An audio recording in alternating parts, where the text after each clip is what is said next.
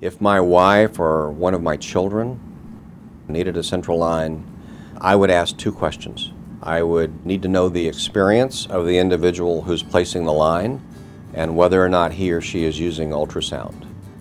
And if they're not using ultrasound, I would find another doctor.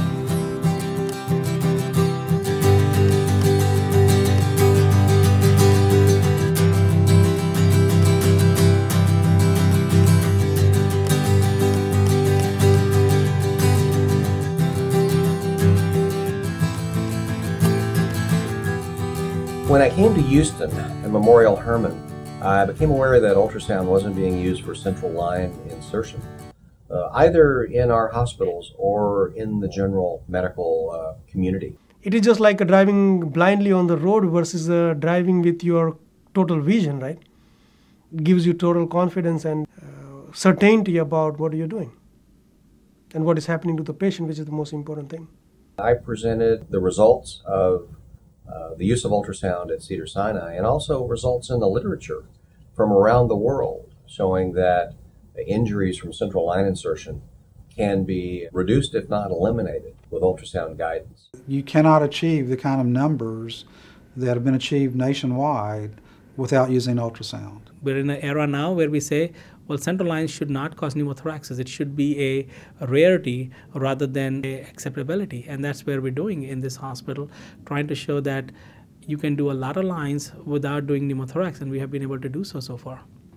In fact, for two of our hospitals, uh, they've recorded over a year's worth of practice in the hospital without the occurrence of a single iatrogenic pneumothorax. These are considered never events, certainly by Medicare, and probably will be never events by insurance companies, and probably will be never events from the legal system. So that's really three good reasons other than intellectually wanting to do the right thing. We've actually created a new award for hospitals that are achieving zero iatrogenic pneumothoraces for a whole year. We're going for zero. This is amazing. And actually, uh, I didn't even mention it, but we've uh, our our emergency departments. Um, we have nine of them busy. We saw over 400,000 visits last year. They place a lot of central lines.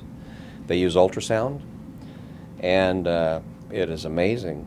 But we had no iatrogenic pneumothorax for the whole year. We're talking about emergencies. We're talking about level one trauma. This is pretty amazing.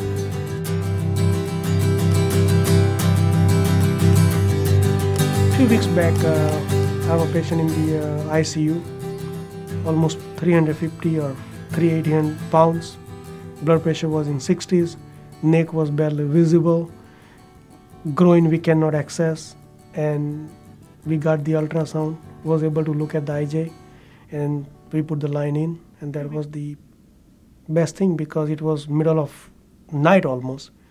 And we need a line. And we got it. Patient did very well and eventually she got out of the icu